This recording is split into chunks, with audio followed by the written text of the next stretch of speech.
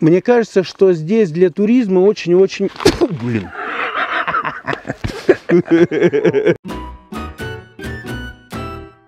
Саид, расскажи, пожалуйста, э, я знаю, что у тебя это оформлено как индивидуальный предприниматель, и у вас еще есть свои поля. Да, у нас поля есть. Что делаете на полях, что выращиваете? Иногда сено, вот уже третий год мы сеем, как сказать, э, пшеницу, ну, злаковые. Угу. И ячмень, овес, потому что у нас еще это, это палатины есть на ГТС. Угу. И э, рыбоводством занимаемся чуть-чуть. ГТС гидротехническое сооружение. Ну да, ну так говорят, плотин там и как Ага. водоем, короче. Сколько он по площади водоем? Ну так, э, зеркало 7 гектаров. 7 гектаров, да? Да. И что там делаете? Ну там рыбу разводим, карпы, э, толстолобики. Попробовали форель пустить, ну пока еще форель не видели. Ага. Попробовали стерлядку. В прошлом году кило 200 одну поймали. Ну, пока тоже больше не ловили. Ну, Мгм. В основном толстолобик, амур и Карп. карп, да. А подскажи, пожалуйста, э, поля-то, значит, зерновые зачем выращиваешь? Кормить рыбу? И рыбу кормить, и продавать.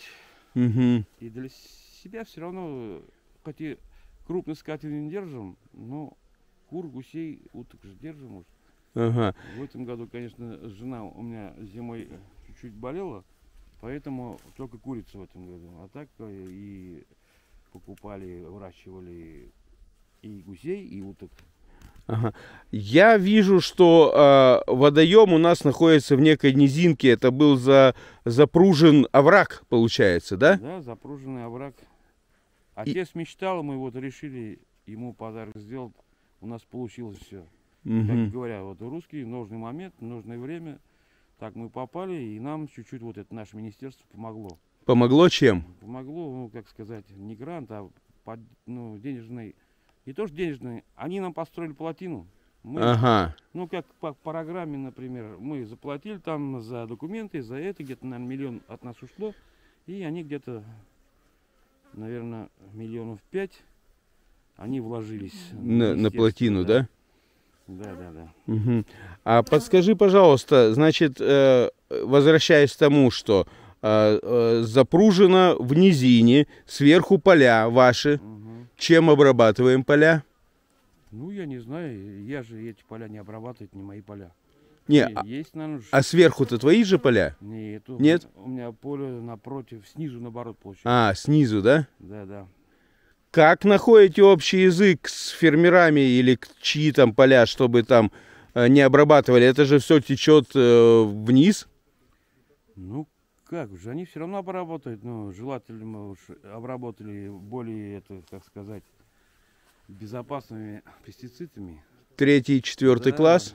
Третий, четвертый класс. Раньше мы общий язык находили. Сейчас август. Ну, пока, пока вроде нормально. Пока нормально, да? В, в этом году вон тоже осы видите, Мгм. везде. Обычно, когда уж э, вот этими химикатами первого класса опасности обрабатывая, они тоже исчезают, потому что они же хищники. Они Мгм. едят тлей там, всяких мух, Угу, например, и также могут вот эти э, гусениц покушать. Угу. Но они сами-то сладкие едят, например, мед там. э, А вот дети, они кор- кормят с этим, как сказать, плодью. Ага. А, Друзья мои, мы находимся э, в третьей столице Татарстана, туристической столице Татарстана, после Болгара, Свияжска и в Тетюшах мы находимся здесь недалеко. Камскусти, Ага. Район. Так, вот так вот, наверное, сделаю. Э, Мне кажется, что здесь для туризма очень-очень... Блин.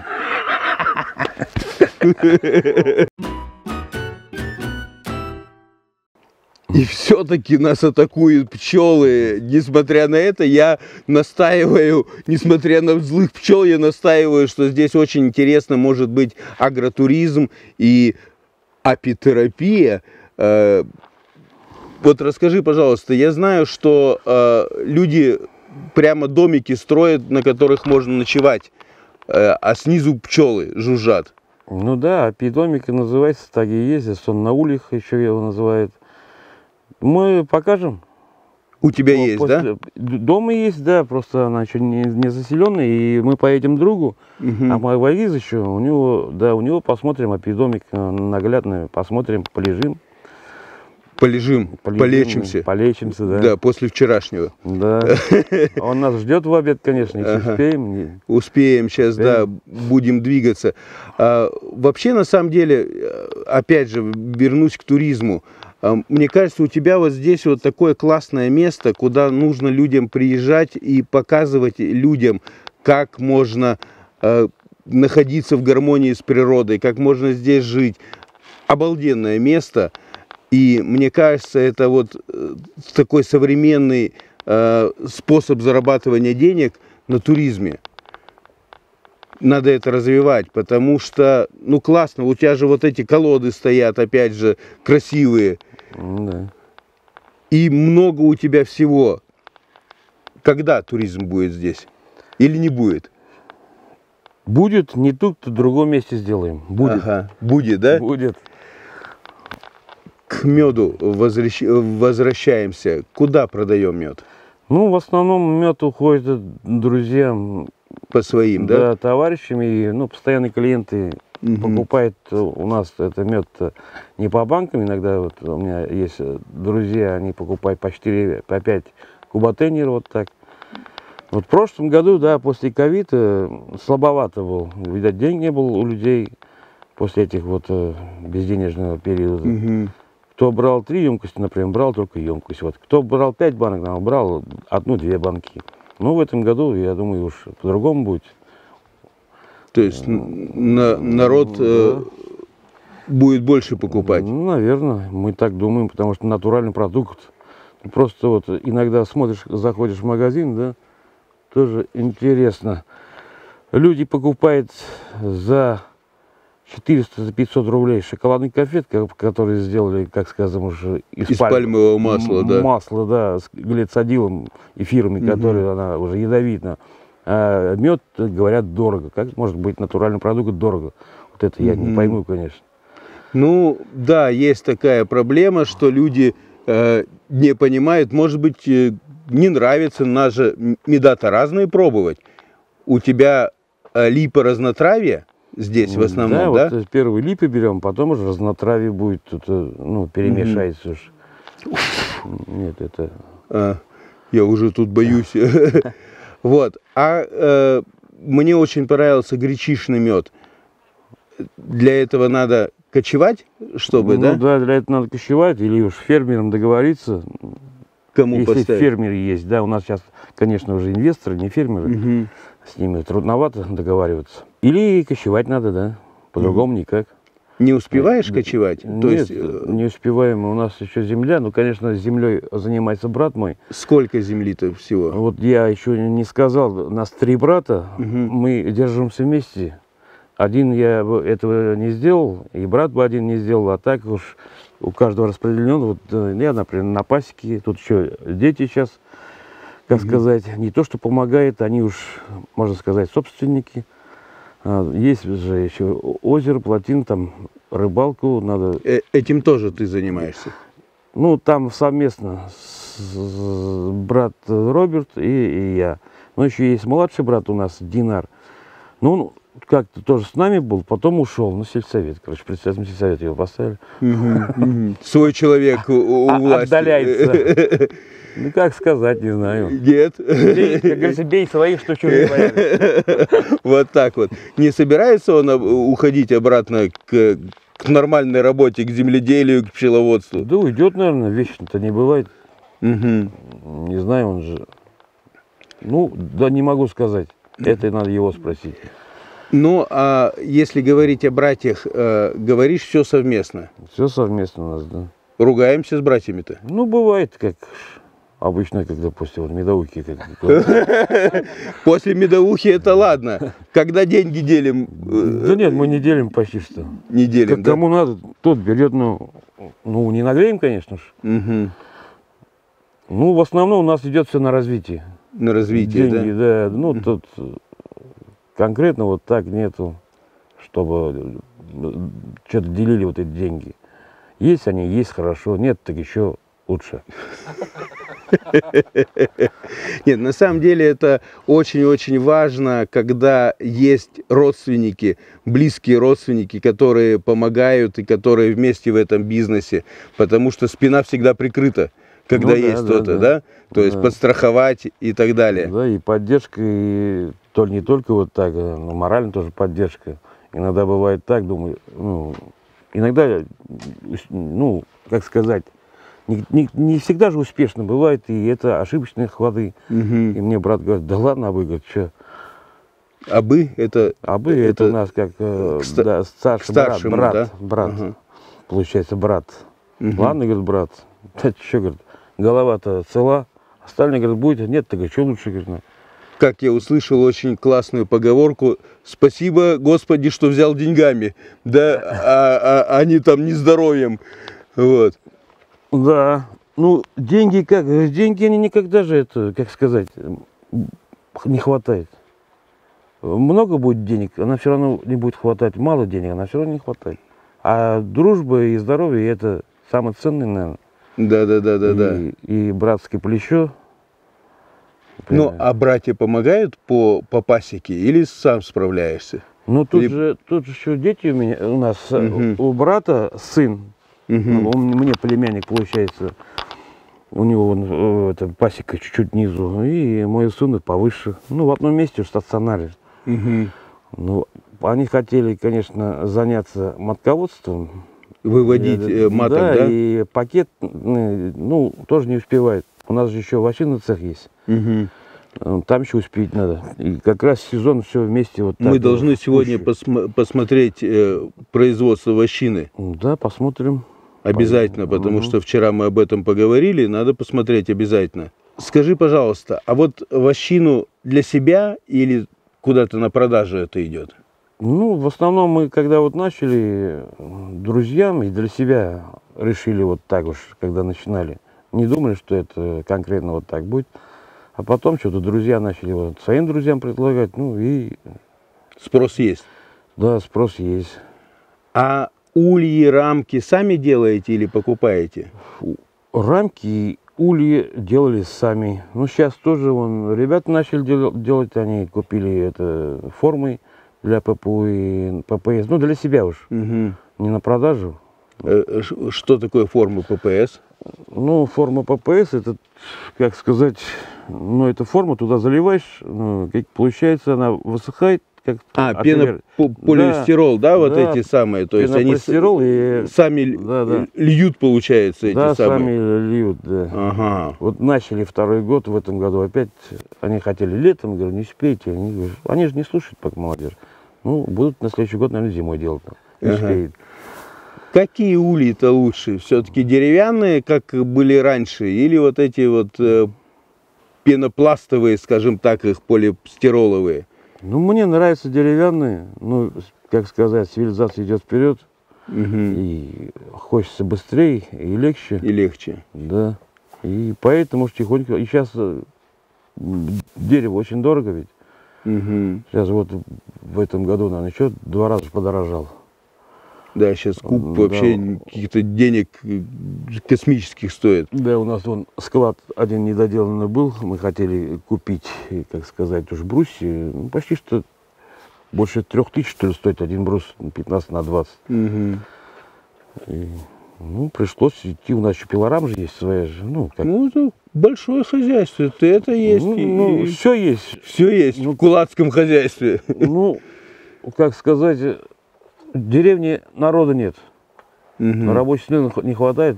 Все же не успеваешь. Для себя, да, можно уж. Когда вот Мгм. есть время, мы делаем.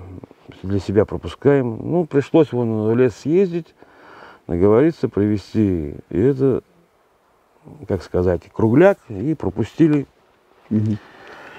А я еще знаю, что ты, э, э, как это, инспектор, что ли, по пчеловодству называется? Как это Ну правильно? Да, три года назад меня ребят попросили на собрание и поставили пчеловод- э, инспектор по пчеловодству и агро, ну, рыбоводство, так скажем. Мгм.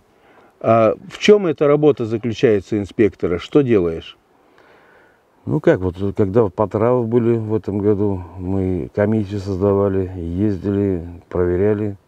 Мгм. Артур мне помогал, он, у него в прошлом году был такой сложный период, тоже отравление пчел был. Ну бывает, нет, нет, так бывает, что делать уж. Мгм. Ну, то есть это такая общественная работа получается, да? Общественная работа получается, да. И приехали, комиссию создали, надо же куда-то а, в государственные органы сдавать э, ан- на анализы, то есть от чего выяснить-то? Вот это самое трудно, как мы выяснили. У нас вроде все, комиссия вот это все пробы сняла, документы подготовили. Ну, получается, у нас многие лаборатории не аккредитованные, и многих э, вовремя не бывает там реактив, что ли, как они называются, Мгм. не вовремя не могут сделать. И люди, пчеловоды, ищут аккредитованные лаборатории, а вот это неаккредитованное, оказывается, они не проходят в суде.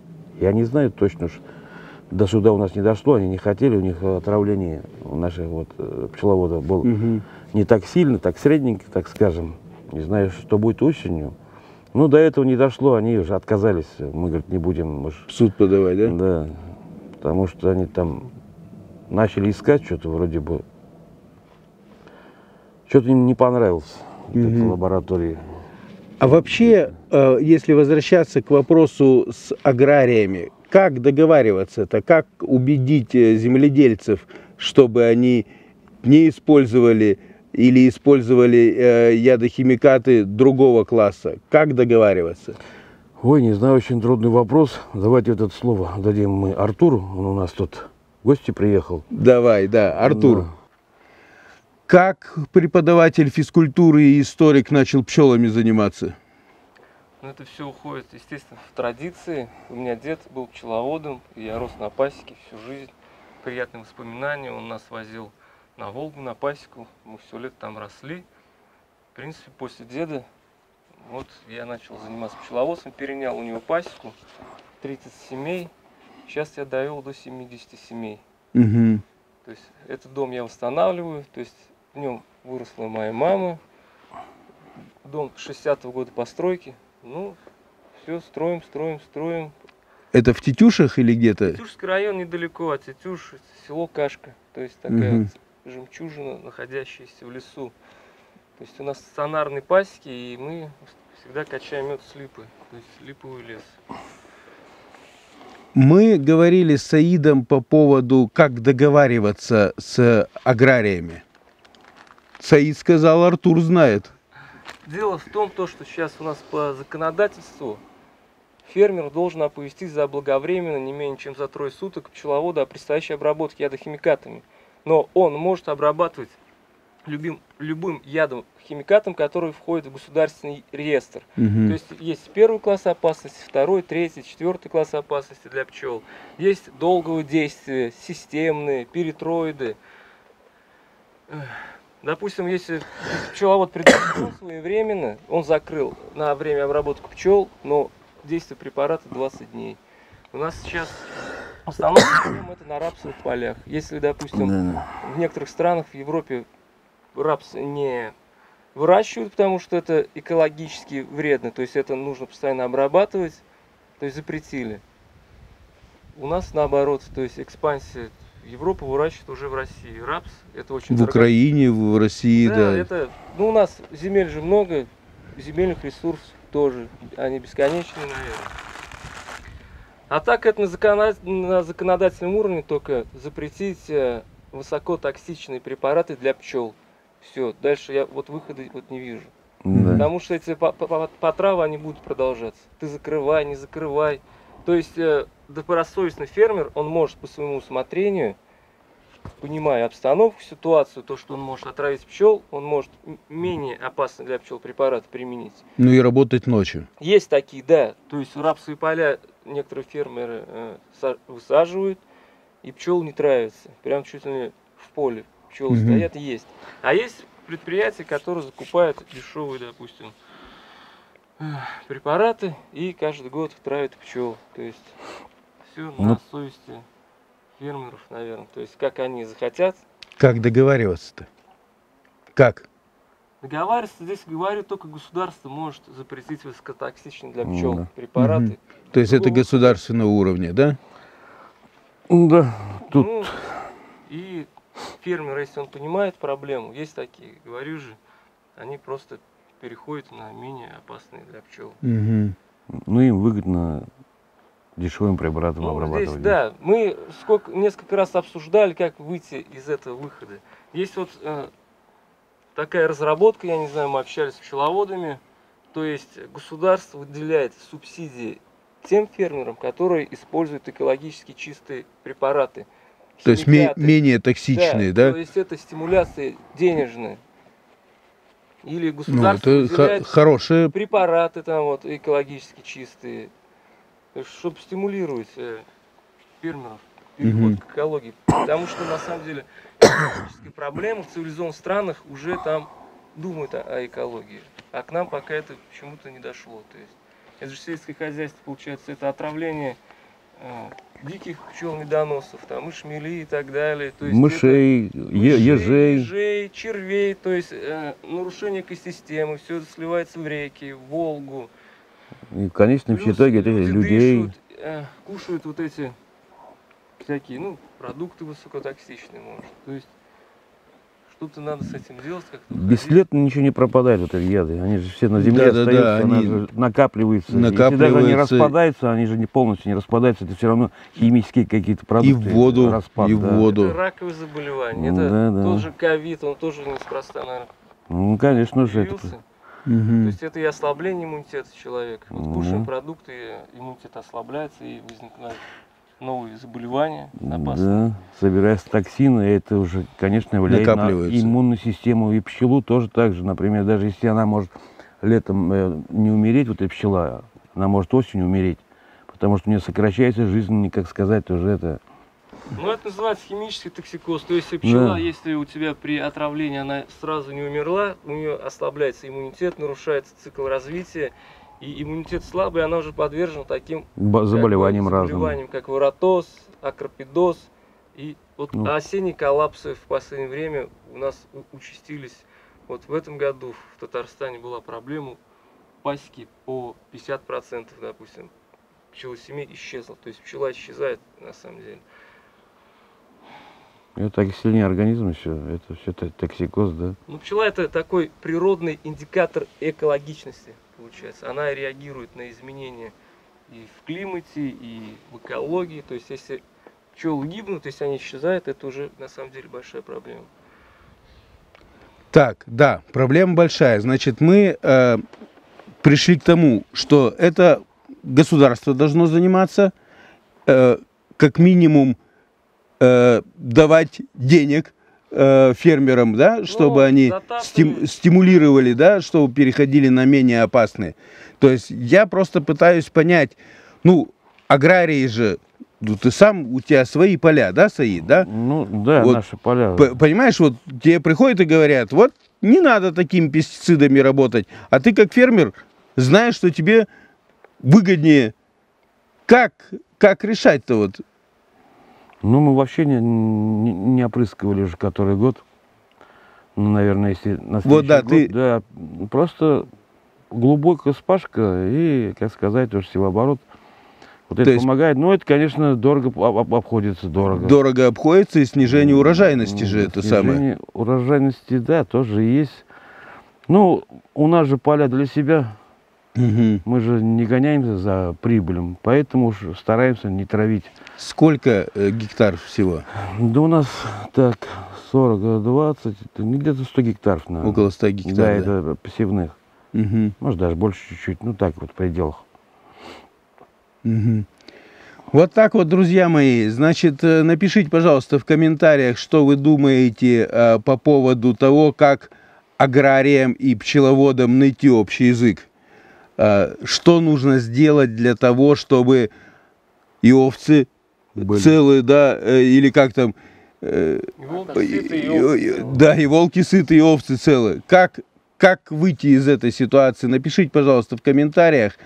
Ну, а мы сейчас вам еще покажем немножечко пчел и потом к вощине перейдем. У меня вопрос дополнительно, может, включите, может, нет. вопрос обывателя. Вышки сотовой связи, вообще сотовая связь, влияет на пчел? 5G.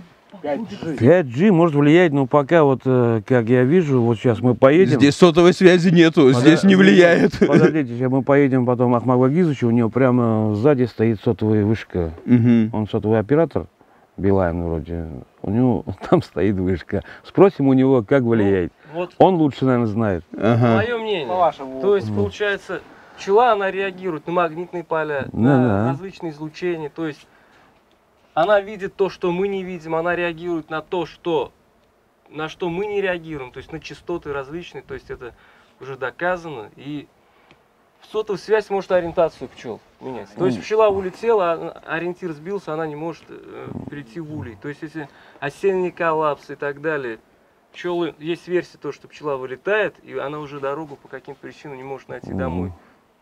То есть но, это но полностью таких а, больших глобальных исследований на этот счет, как я понимаю, не проводили еще. Нет, Только наверное. так наблюдения какие-то ваши, да? Она, видишь, всегда может и не быть. Да, а да, вот, да, да, да. например, тот же токсикоз, вот это все, например, факторы могут Комплексе. вместе, да, да, может тогда действительно она может и влиять. Мгм. А потому что это никто не проверял, тем более в нашей стране это Да, да, да. Ну, пчелы, они вот миллио- миллионы лет, да, с возникновения Земли там живут. Они же жили в гармонии с природой, не было вот этих всяких сотовых связей. Ладно, там природное излучение это одно. То есть это понятно, потому что они вряд ли приспособятся вот к этим изменениям. Нет такой адаптации у них. Друзья мои, а к проблеме э, геномодифицированных организмов как э, относятся пчеловоды? ГМО хорошо это или плохо? Но в любом случае это вмешательство человека в естественный природный цикл. Это как и клонирование и так далее. То есть это в любом случае отражается на организме. Допустим, существуют медоносы, да, которые оп- опыляют пчелы. И здесь э, вывели сорт, допустим, гречихи, которые уже пчелы, они даже и не нужны для опыления. И вот некоторые фермеры говорят, вот скоро, допустим, все растения сельскохозяйственные перейдут на самоопыление, вот тогда вот вы там, Попляшете, возбудите, да. Ну такого не будет, ну. Потому что это природа. Все равно всегда так было, природа все равно возвращается на свое обратно. Если это испортит, может быть, вообще ничего не останется у нас, потому что не просто так же во время СССР даже собирали все семена и консервировали, да. Банк. Да даже не просто так. Они же понимали, что это когда-то они могут испортить вот этот, как сказать, сорт. Мгм. Да, она может просто аннулироваться. У него может гены там разрушаться начнут. И ГМО тем более это мы последствий ничего не знаем, потому что тоже не исследовано ничего. Ну вот я удивился, вот я читал, что в Великобритании, там на территории Великобритании там запрещено выращивать в сельскохозяйстве культуры ГМО. Вот страна же пришла, но это отдельно, конечно, островное государство там проще. Да вроде Кыргызстан тоже отказался же. Кыргызстан? Да, или я Мгм. ошибаюсь? И возможно, в ближайшем будущем, может, даже Татарстан откажется. Да вряд ли.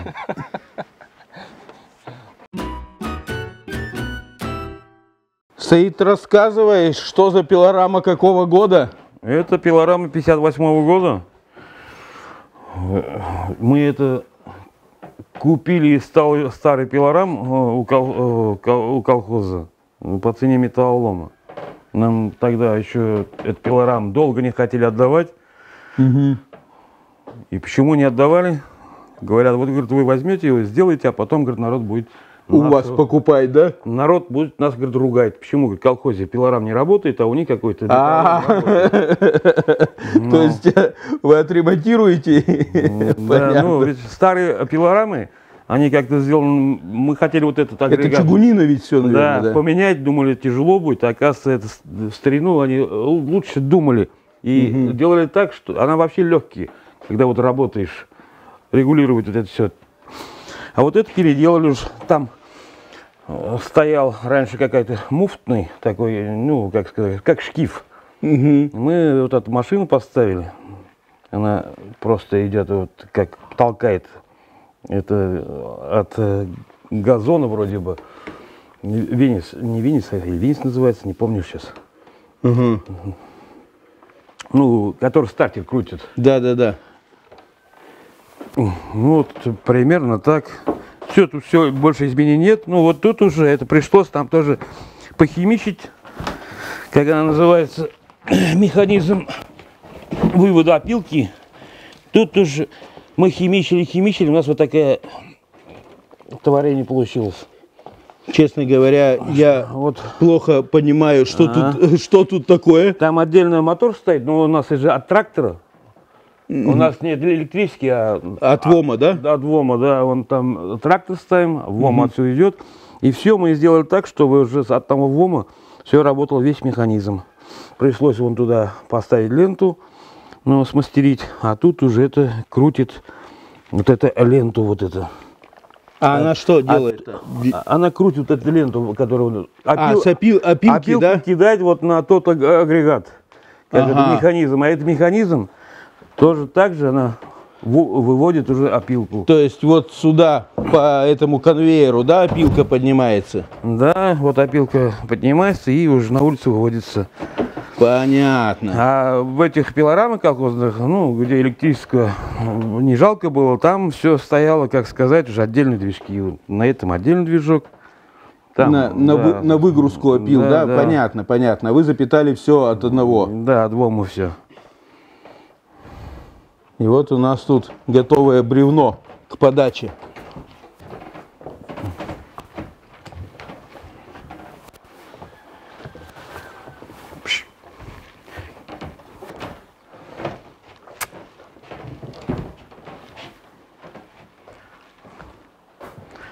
Как мы решили его установить? Как-то зимой, э, 300 градусов мороз, мы поехали к соседней деревне за пила- э, на пилораму с телегой. У нас трактор солярка замерз. Мы там замучились, замучились, оставили трактор и уехали. На следующий день приехали, уже теплее был, завели трактор. Уже пилорамщик э, там другой заказ, другого пилит. Нам пришлось обратно везти эту телегу домой, и обратном пути у нас ну, поскользнула телега, и у нас бревна под дамбу, ушли, под дамбу ушли, да. Даже двоих вроде не забрали, сгнили там прямо уж. Мгм. Потом приезжаем домой, братом, братишкой Роберт, а это готовы, говорит, поставим пилораму. То есть намучились. Да. Да, и давай. Мучились. Да. Когда дом строили, ну почти что дом достроили ж. Ага. Ну, еще много ну- нужно было досок, материала. Но когда своя пилорама есть, это хорошо. Вот у нас тут брус. Да вот брус надо было, мы пропустили, вот купили лес, Мгм. заказали и пропустили. А лес-то где? Здесь, в Татарстане или откуда? Ну, С Кирова какого-нибудь? я не знаю, откуда привезли, просто мы это позвонили, э, ребята адрес дали, позвонили, они нам привезли. Даже не интересовались, откуда они привезли, что. Понятно. Ну, два раза дешевле получилось было. Ну, естественно, да, когда сам пилишь. Брус, еще доски выходят по бокам-то. Ну да.